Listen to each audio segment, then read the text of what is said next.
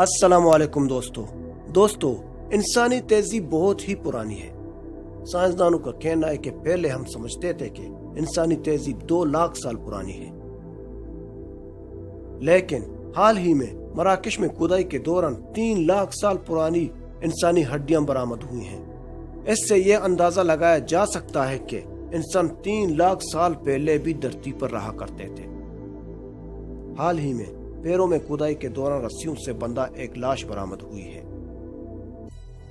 दोस्तों, अगर आपने अभी तक मेरे चैनल को सब्सक्राइब नहीं किया तो अभी से सब्सक्राइब करें और बेल आइकन को बटन दबाएँ। जनूबी अमेरिका के एक मुल्क पैरों के वस्ती साहिल पर खुदाई के दौरान रस्सियों से बंधा 800 साल कदीम इंसान बरामद हुआ है।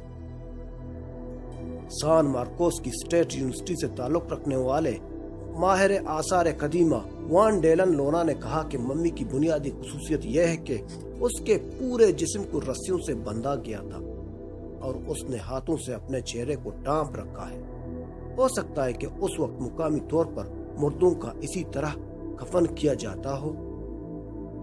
माहरीन के मुताबिक मम्मी शुदा बाकियत उस सकाफत से ताल्लुक रखने वाले एक शख्स की थी, जो जनूबी अमेरिका के मुल्क साहिल और पहाड़ों के दरमियान परवान चढ़ी थी। माहिर आसार कदीमा पीटर वान डेलन लोना ने बताया कि ये मम्मी जिसकी जिन्स शुनाख्त नहीं हो सकी है, लीमा के इलाके में दरियाफ्त हुई है। बाकिया एक ऐसे शख्स की हैं जो मुल्क के ऊँचे पहाड़ी इलाके में रहता था। उसकी रेडियो कार्बन डेंटिंग की जाएगी ताकि ज़्यादा दुरुस्त तौर पर यह मालूम हो कि ये कितनी पुरानी है। ये मम्मी लीमा शहर के मुजाफात में एक, एक जेर ज़मीन जगह के अंदर से मिली थी।